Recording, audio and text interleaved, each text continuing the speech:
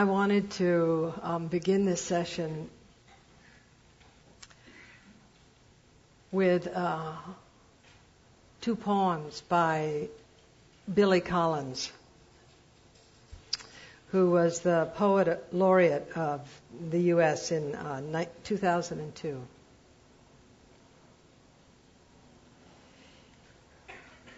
And the first poem for me uh, really exemplifies the feeling that I was talking about this morning about n- deep nourishment from ordinary things. That's before we got into the hard questions that we were dealing with. But that um, our lives awaken, as Trungpa Rinpoche said, through ordinary magic. It's in the everyday things that the miraculous happens for most of us. And it's developing that incredible sensibility that allows us to perceive the subtle.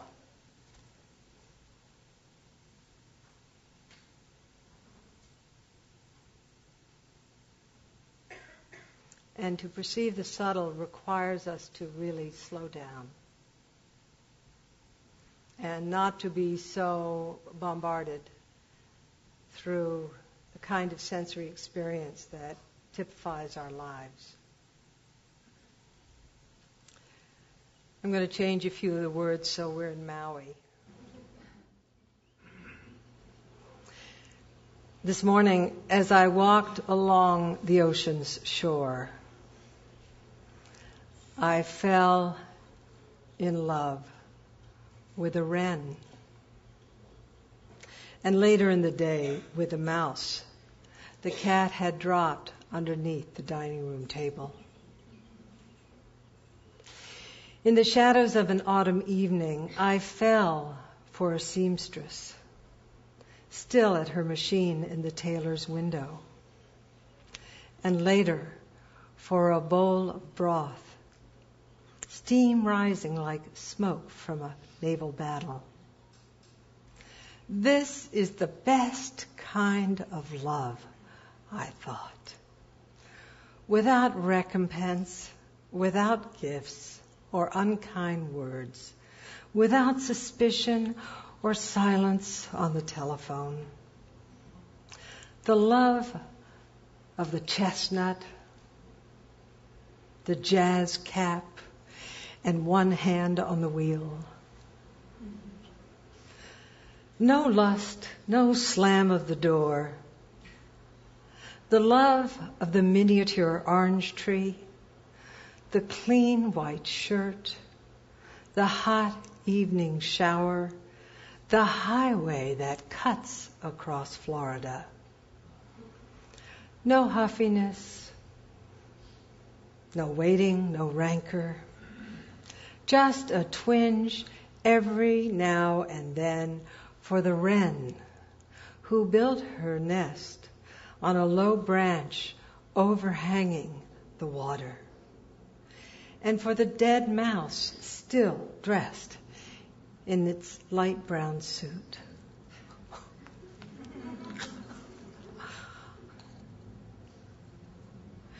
My heart is always propped up in a field on its tripod ready for the next arrow.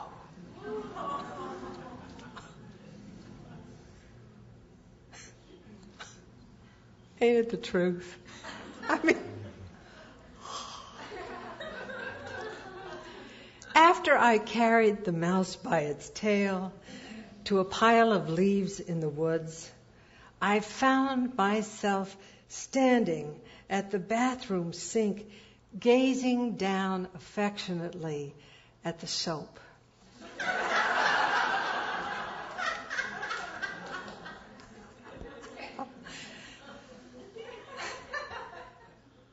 so patient and soluble, so at home in its pale green dish.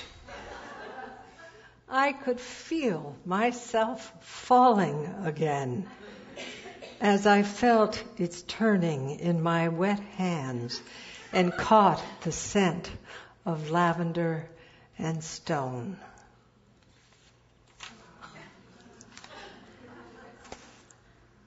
Oh. Billy Collins. Billy Collins. So,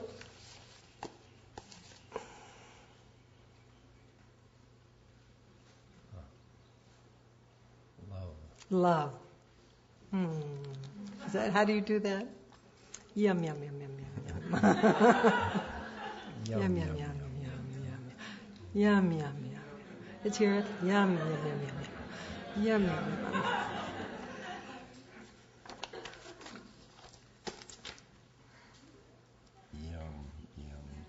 Yum. Ram, ram, ram. Oh. The secret is love. To surround a dying person with love. With love.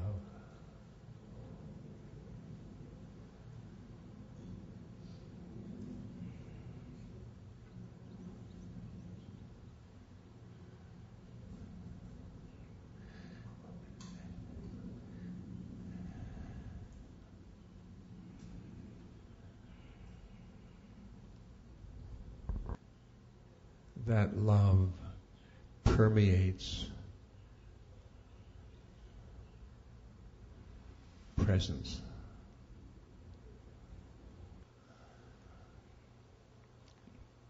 I used to say, I am awareness.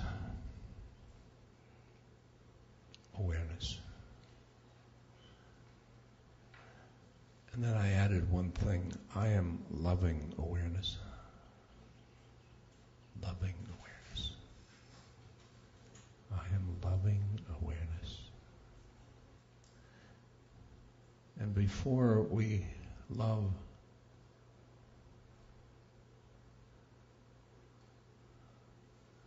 that, we've got to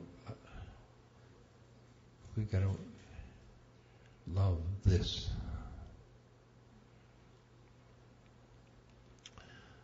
We have to love unconditionally ourselves.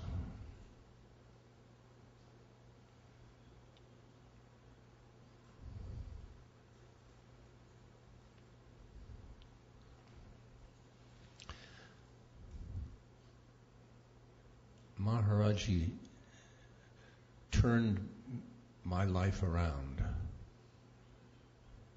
by unconditional love.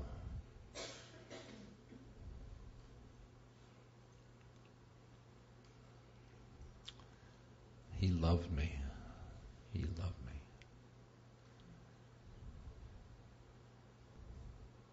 And that's for some time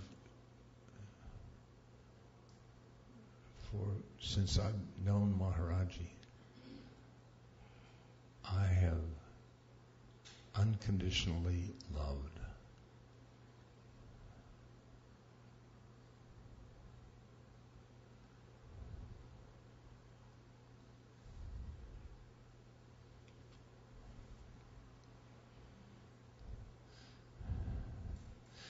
Coming from a family of lawyers, I judged before. Now I love. Because judging gets you to the power position. Love gets you into the middle of into the middle of the stew.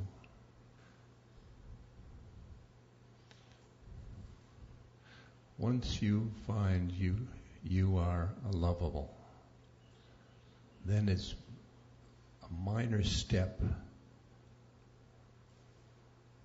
to the world, to the world is lovable.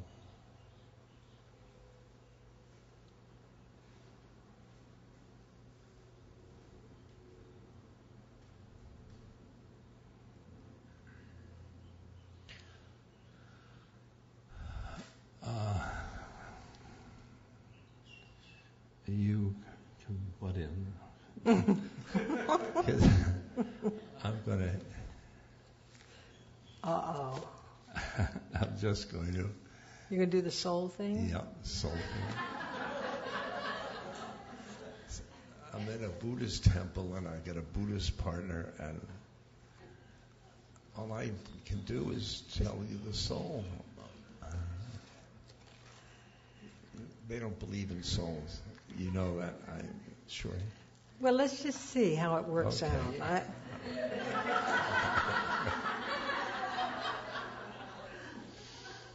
but can I read a poem first? Yeah.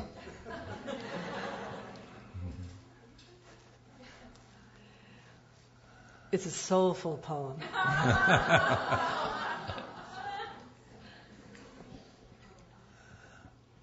and this is uh, poem is by uh, a German poet named Lisel Mueller, and it's about love too and the soul.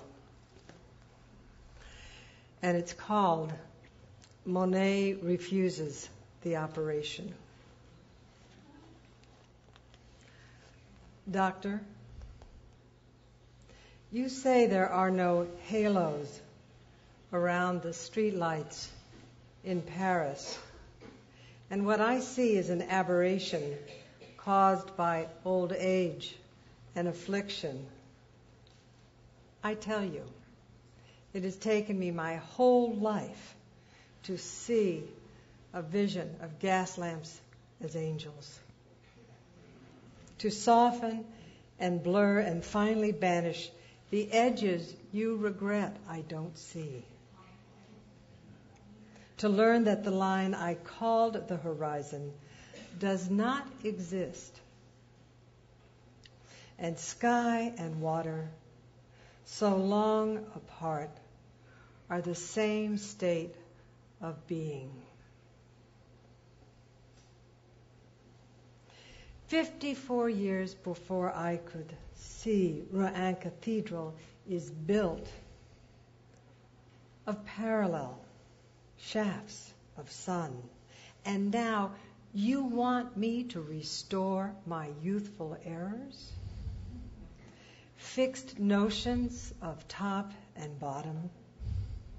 The illusion of three dimensional space? Wisteria separate from the bridge it covers? What can I say to convince you? The Houses of Parliament dissolve night after night to become the fluid dream of the Thames. I will not return to a universe of objects that do not know each other. As if islands were not the lost children of one great continent.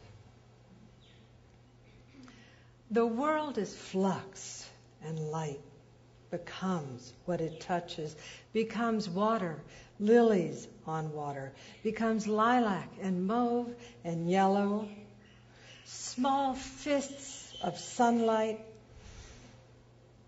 passing so quickly one to the other that it would take the long streaming, streaming hair inside my brush to catch it, to paint the speed of light.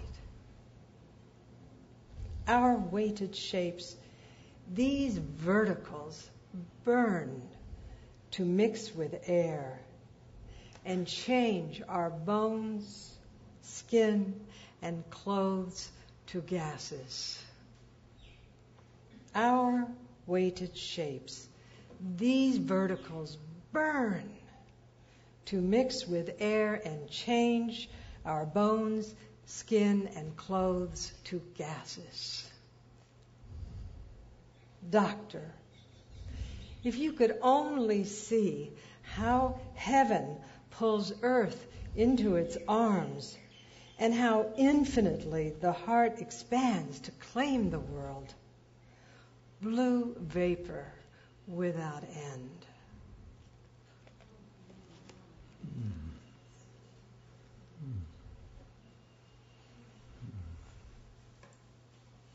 The soul. I'm, I'm being in the soul.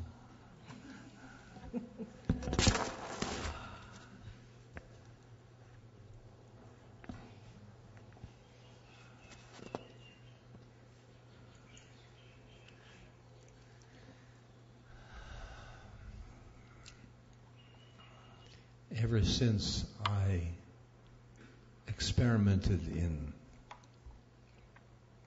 uh, consciousness through psychedelics, I be, I become aware of different planes of consciousness. Just as that was planes of consciousness.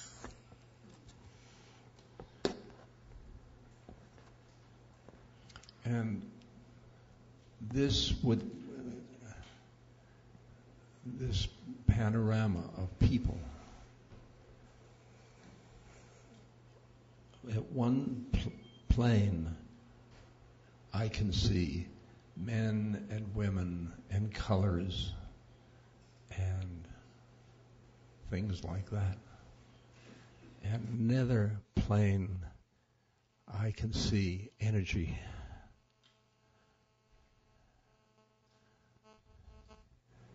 And then I can see, I can see beings who have come to this plane and are caught in in their incarnations.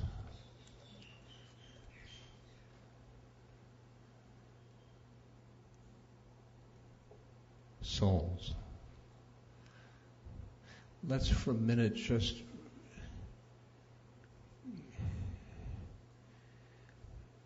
shift planes. You can you you your plane here now is ego plane.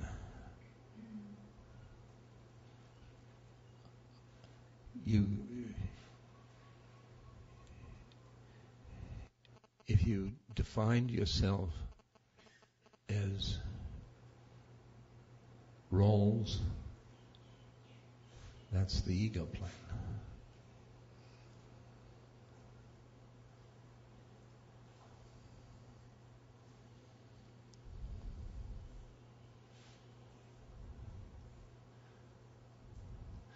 And there's this other plane at which we have identity the soul plane. And then there is a further out plane. There is the one.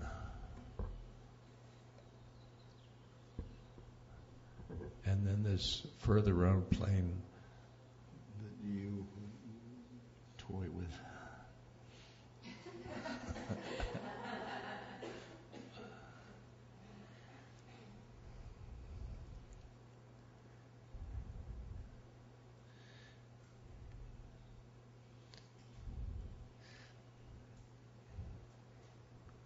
You, your ego is a thought.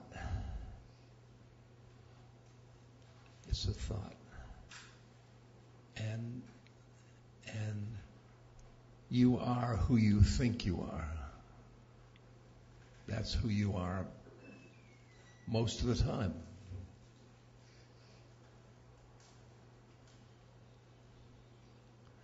But just behind that is the soul. And the soul goes from incarnation to incarnation to incarnation. And it came to this incarnation. You got slapped on the butt, and everybody said coo and hello, baby. That was your introduction to the to this plane.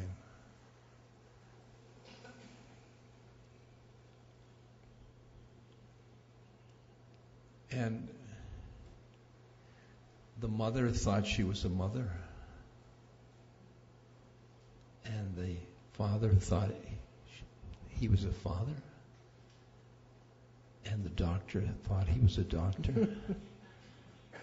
and the nurse thought she was a nurse.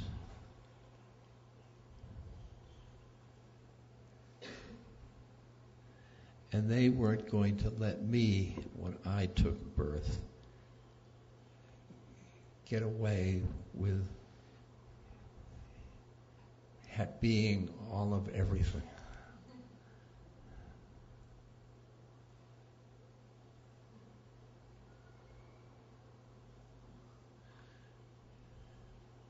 So I became Richard. And I was a good Richard. And I thought I was Richard. That's what I thought I was. Richard. Richard. Richard. Richard. That was always that was always the, the Richard.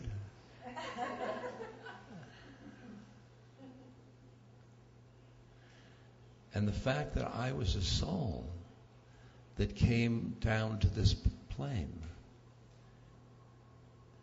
was it it it meant nothing to me at all. I was busy fulfilling my identity in the, this incarnation. And my mother and my father and teachers, and they all thought the incarnation was real.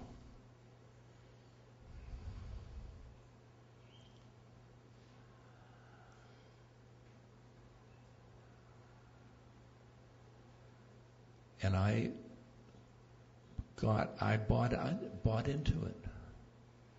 I bought into it.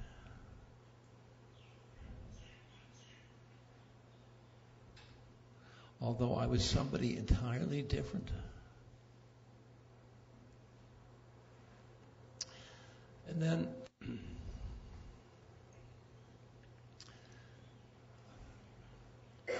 mushrooms came along.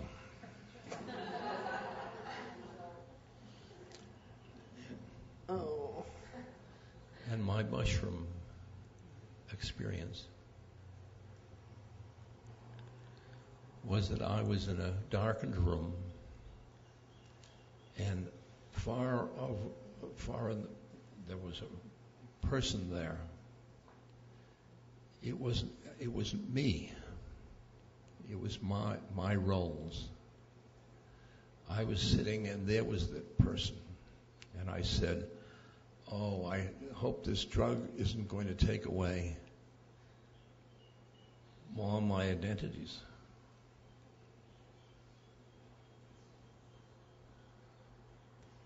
And there was professor. The minute I see one, it would turn. There was a airplane pilot. There was a lover, a, a sexual lover and then there was each one of my roles just as up there.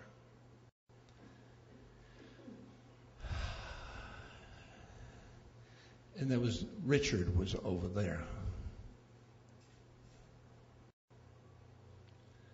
And I thought this this psychedelic is going to make me forget who I am. I can't give up Richard.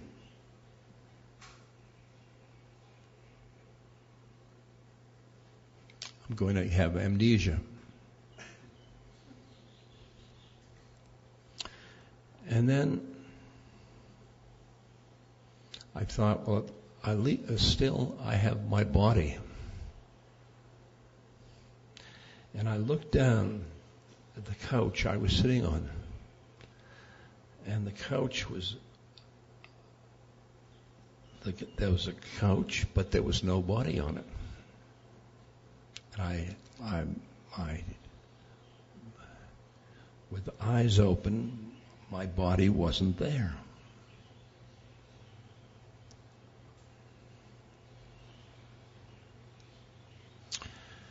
And I was uh, why I was going to call my guide. I was get, I was frightened. I had no body.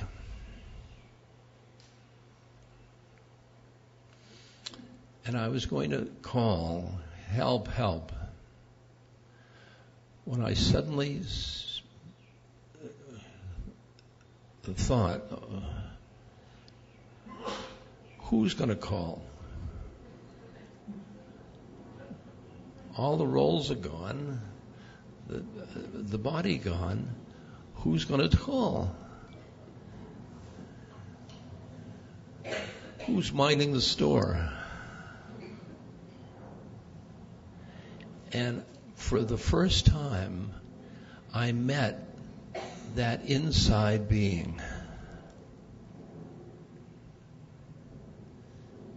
And all my psychology studies had never taught me that inside being.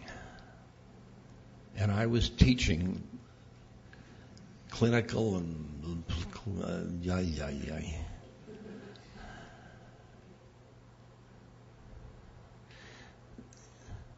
I was getting to know my soul.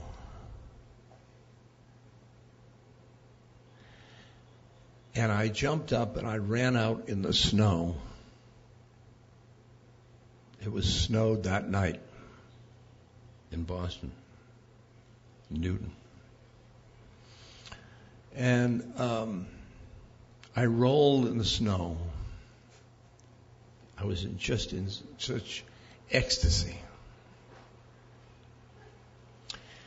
And um, the house I was staying in, uh, it was two blocks from my parents' home. And I walked through the snow. I was going to say hello to them. And um, th- their walk wasn't shoveled, of course. None of the walks were shoveled. So I went to the garage and got the shovel.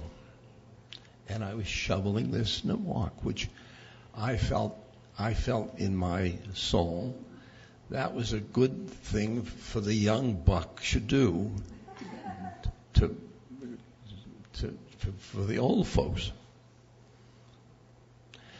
And their, their images were in the window with, with, they were, they were peeved, peeved. They were angry because I was shoveling snow.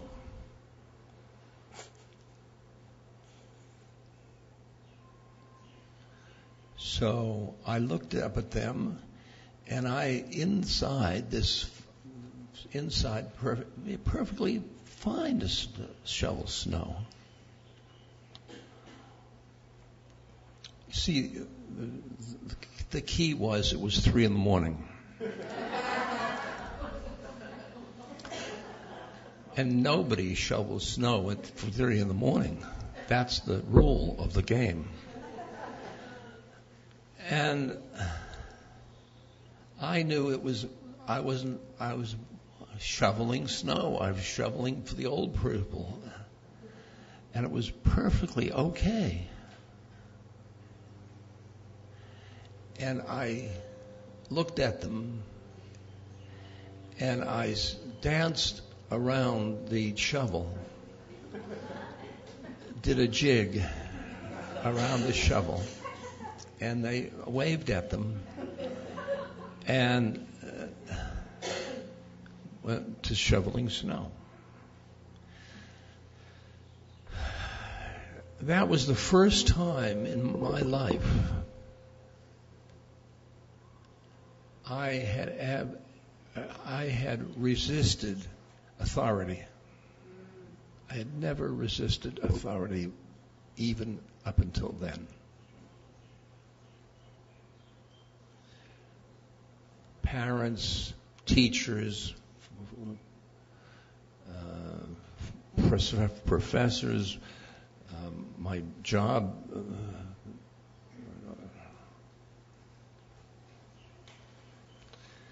and I, I felt for the first time in my in my uh, in my heart of hearts, I had a true um, uh,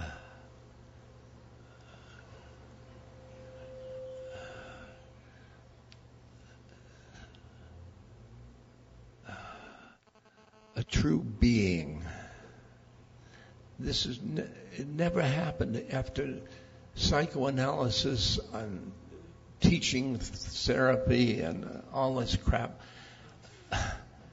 After that didn't work to be to get that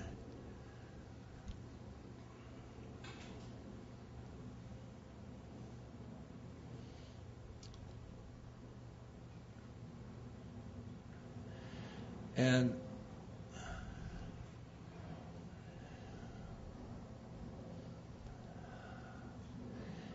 and I, the, the, the, this thing in me had, it had love for everything around it.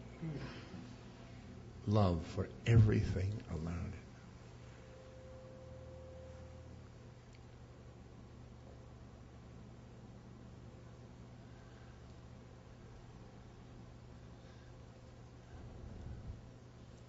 And I went to teach at Harvard the next day. But everything I'm teaching is stale. Is stale. It, it was ego psychology. Ego psychology.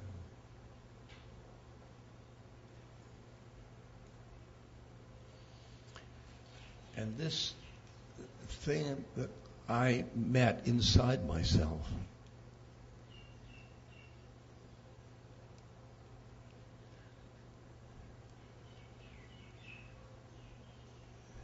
It was real. It was so real that it put my life into unreality.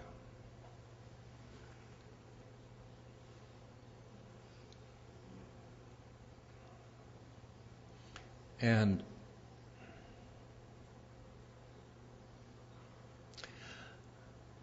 from that point on,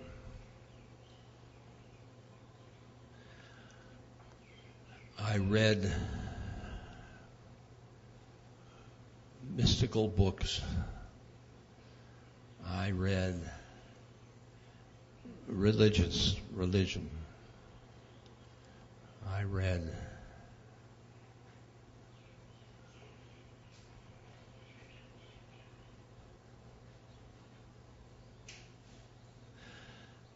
And the thing is, I looked at everybody just as I look at you. I looked at them as souls. It's like going into a grocery store and it's like a temple because it's just souls. Some of them think they're customers and some of them think they're clerks and that's their roles but I see who they are. I see that they're souls who have have have been seduced by their incarnations.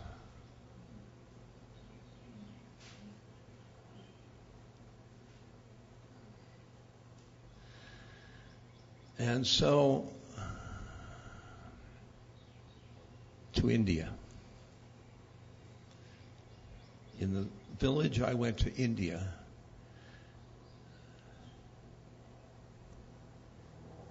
they their identity was that of souls. And they played their roles.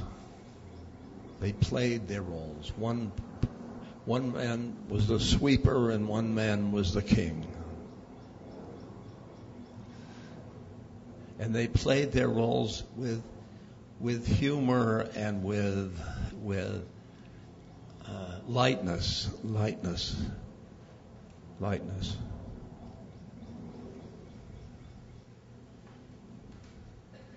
And the sweeper said, thought he could, if he, if he uh, played his soul game good enough, the next time he will be another kind of a soul. And the, the and the king thought the same thing.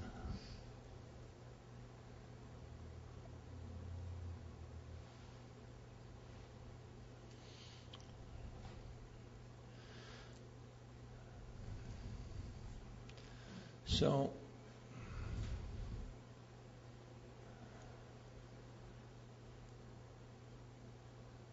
when I met Maharaji,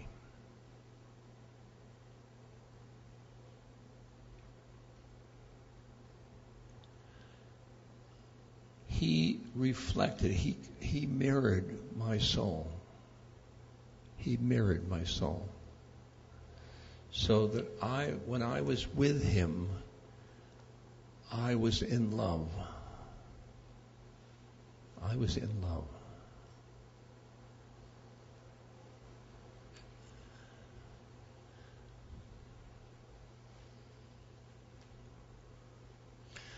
Larry Brilliant, who's a friend of mine, who's a, a, a doctor, and uh, he met Maharaji, and um, he said, Maharaji's a saint. He can, he wonderful. He can, he can love everybody. But he said, when I get, when I am in in the space around Maharaji, I love everybody. He says, I I'm not, I never accept I never I never that. I never. He said, why should why should I love everybody? I'm no saint. But Maharaji mirrored the soul of Larry.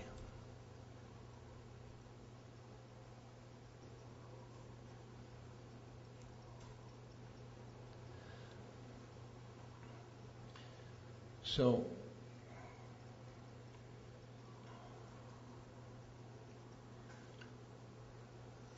if you can see your ego is in your incarnation.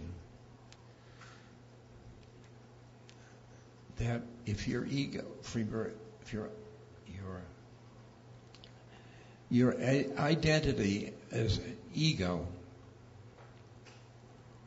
is going to be feared of death.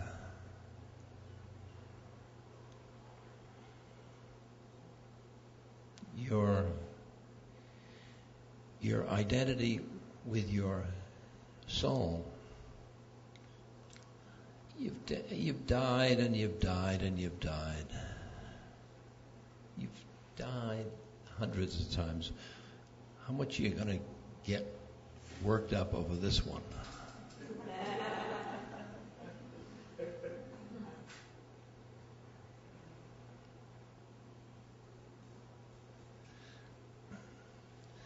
And when somebody like me is with somebody that is dying, I can see this, the, the ego going bye bye and then the, the soul taking over.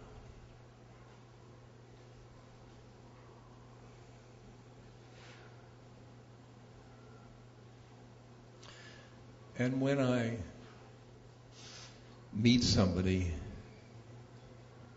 who, whose partner has died,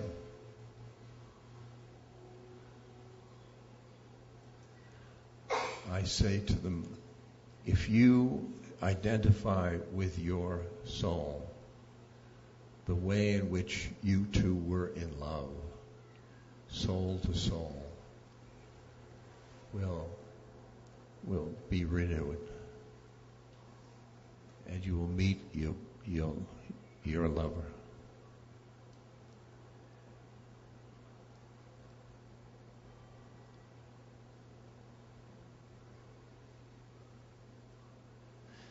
Because death is just a moment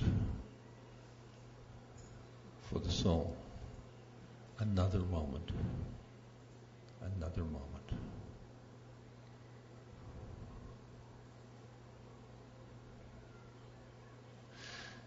Now,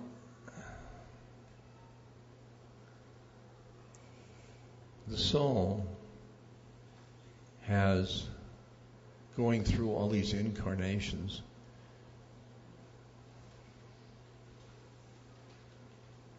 has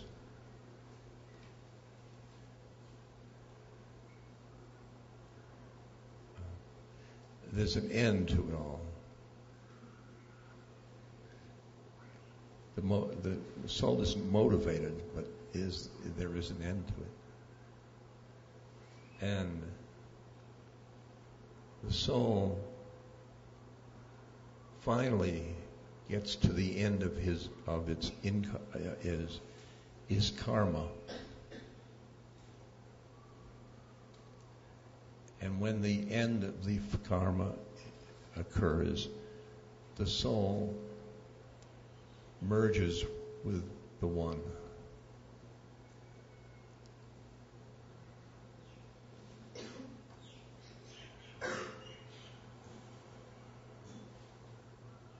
Merges with the trees, with the ocean, with all of it.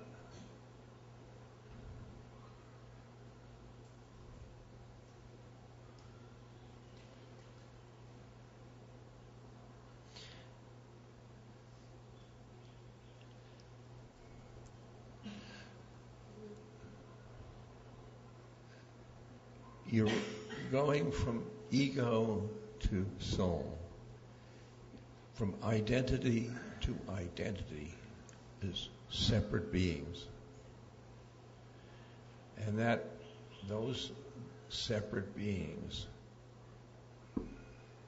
merge into the total being, the total soul, the total God, the total Brahma, the total emptiness.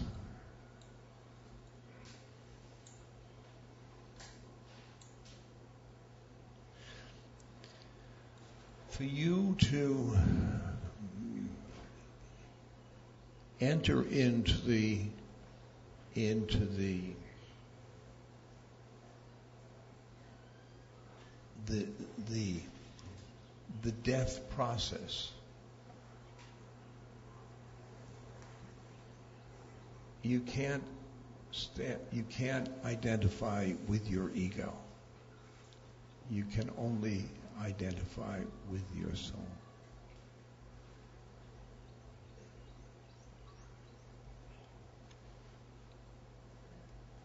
Because you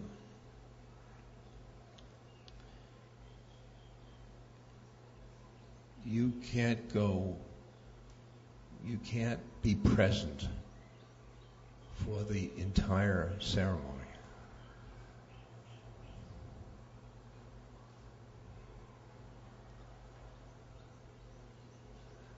And that's why the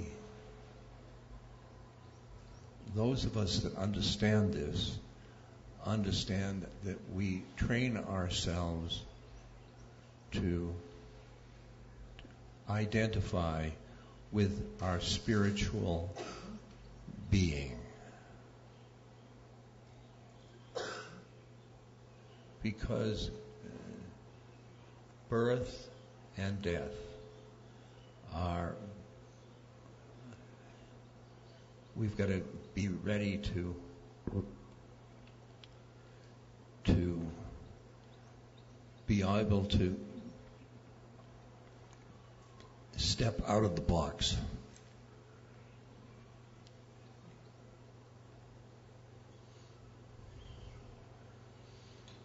And so,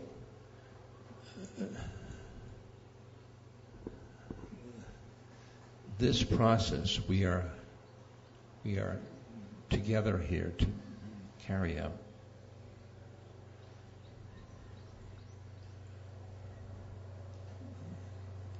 It's a process of transformation for each of us.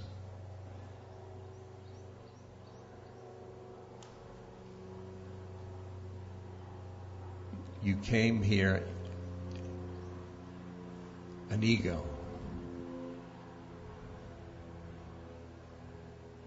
And you're f- faltering such uh, now.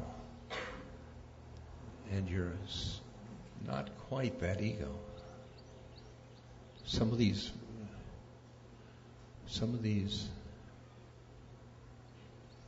exercises and some some of the things that Joan has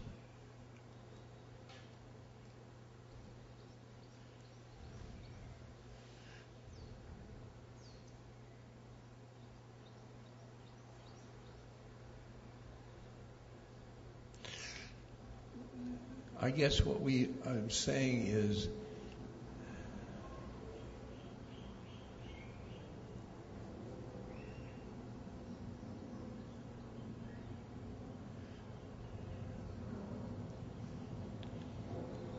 your sadhana works. Your your your spiritual preparation works. And it makes you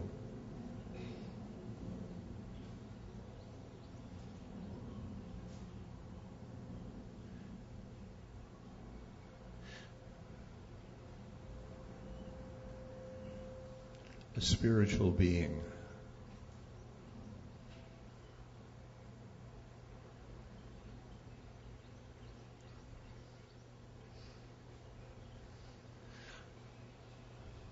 Maharaji said to me, Ram Dass, love everybody. And I said, I can't do that.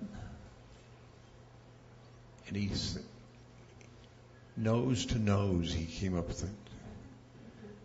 Ram Dass, love everybody.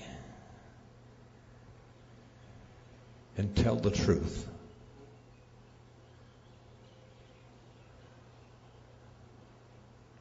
And I had a fight with some people in this temple. And I said, I said to him, I hate those people. I thought I told you to love everybody. I said, but you told me to, to tell the truth. And he came up nose to nose. and He said, Love everybody and tell the truth. And he, he was instructing me to become my soul. Because the, the souls are, they meet in love. They meet in love. They meet in love. And I and he lets me see that I am not a soul when I'm when I'm angry or when I'm when I'm other than in love.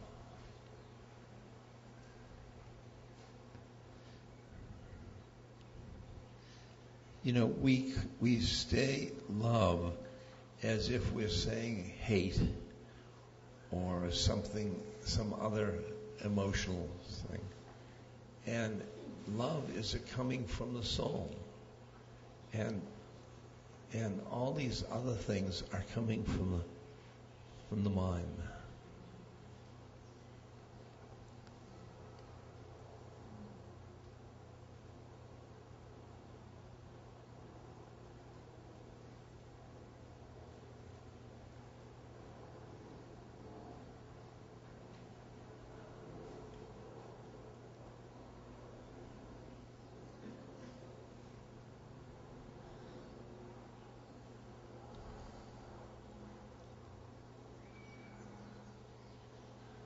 Fellow souls.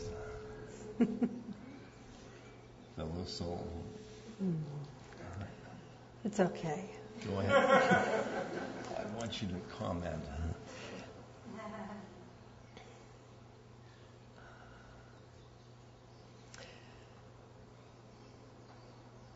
When um, Artie talks, I feel like he's talking from uh, a place that is so precious and deep that one can't really comment on it, um, except I would like to.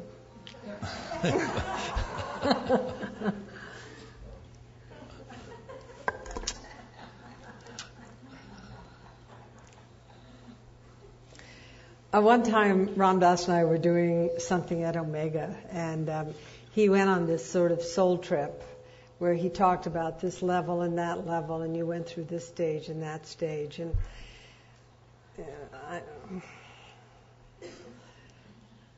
he was so absolutely convincing.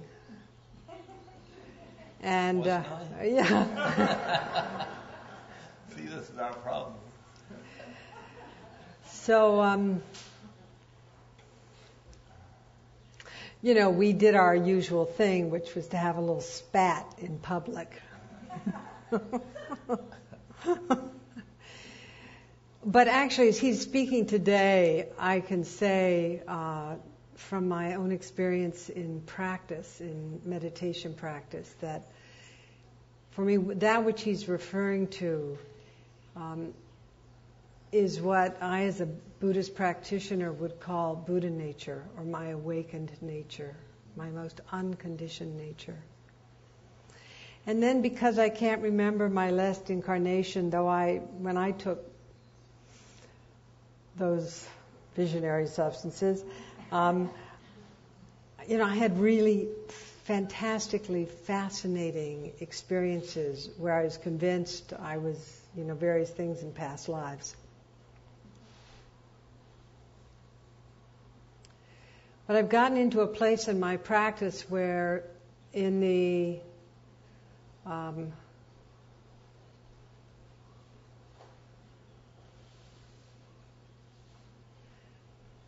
the deepest state that I've realized has uh, nothing fancy about it.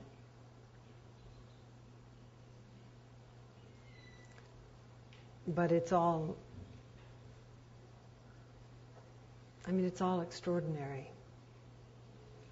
And it is that state about which I think Ram Dass's teacher and others, they know that when you look into somebody, as we did in the exercise yesterday, you're looking from a place that is unjudgmental, unconditioned, therefore loving. You're looking from your unconditioned nature. Dogen calls it body and mind dropping away.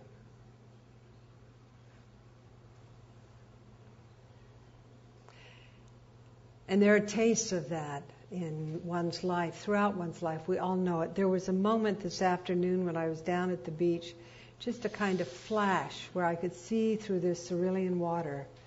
And the wave was inside of me. I really felt washed by it. Now, as to the vision that is prevalent in um, Tibetan Buddhism, particularly, sometimes referenced in the Pali Canon, of something reincarnating. I don't know. I really don't know. I don't know if the accumulation of punya, of merit in this life, is going to earn me a better life in my next incarnation, or whether it's just a Hindu incentive program to keep villagers in their place. I don't know.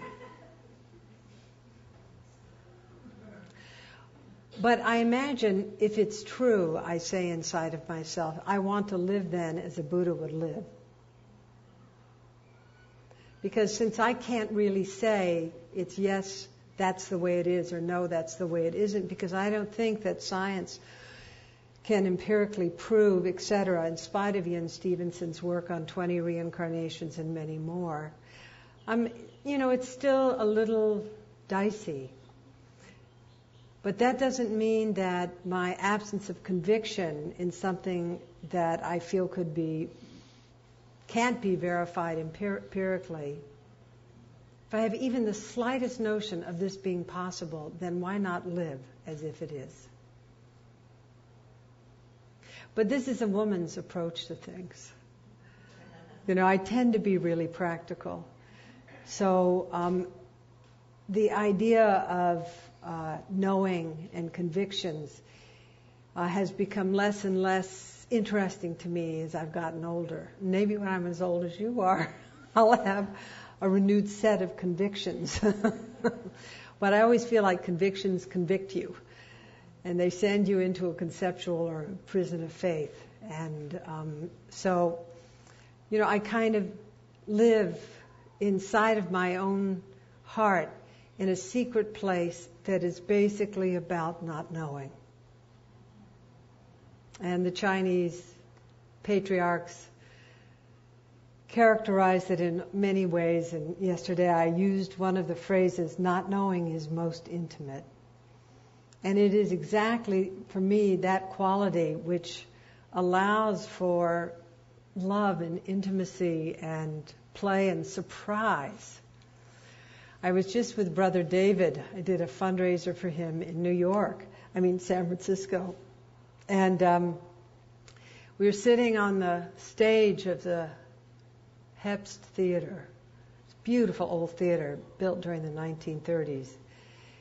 And someone asked the question, what is the sort of main characteristic of gratefulness? And Brother David said, surprise. So it is this kind of feeling. I can really relate to surprise it's just it's just this kind of feeling of being very alive to life, or like Dogen said, giving life to life, and like the wow of Maui, the sort of ah, oh, that wakefulness. And whether or not the subtle mind reincarnates according to the virtue of one's past life, um, again, it's not a frame of reference that even though I, as a Buddha, should believe in, I'm not a belief kind of person. But I can relate from my own experience of the tremendous value of having a practice that opens up the doors and windows of your house so you can see really and then the house kind of disappears one day it's like whoosh, suddenly it's gone and then it flops around you again like but in the dying process, um, the heavier your house is, the more ramified, the greater the castle, the bigger the acreage. Unless your house is the whole universe, um, you're going to have an interesting journey abandoning your house. And one of the things, the precipitants that um, really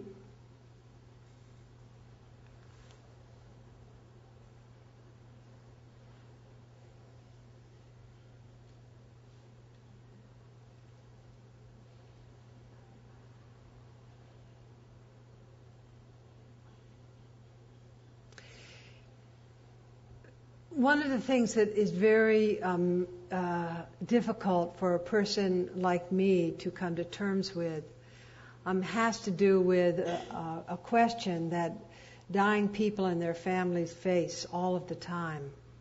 And that is should an intervention happen now? Should I do everything possible to um, lengthen my life? I mean, you know, we're all taking vitamins, you know, we're on the beach doing our thing. I should have a little ozone box for my airplane experience tonight.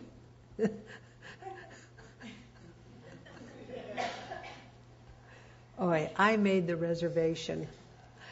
Um,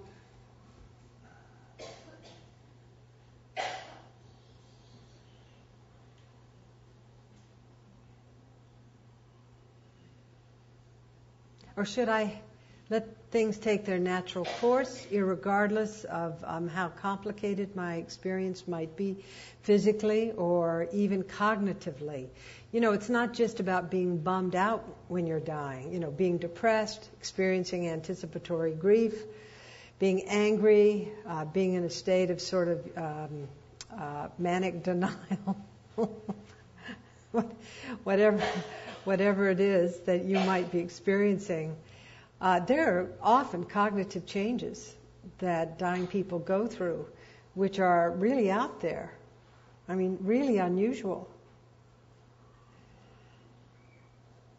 So, should I hasten my death? I ask. And in a world where we seem to have less and less control over our destinies, um, suicide seems like a pretty good option in terms of taking, putting my hand on the tiller. That's what you hear from many dying people. When I was working intensively with men dying of AIDS, um, there were very interesting values. You know, one value was um, I've lost control of my body, I've lost control of my relationships, I'm losing control of my life, but I will not lose control of my death. This is the one place where I can exercise control, and I'm going to choose the time and place of my demise.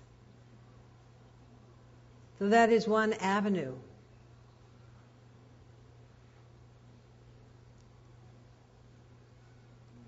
So, one of the things that Ram Dass and I wanted to um, have us explore, though I think we should have a bathroom break. Isn't that right? Yeah. Um, it's an it's another gnarly subject. It's kind of hard to get into at this late hour, but I, I think it's important that we do. It's a piece that the increase got to happen. So I'd like to call for a really quick bathroom break, um, and then we need to be back here in this room at four o'clock. So hurry, hurry.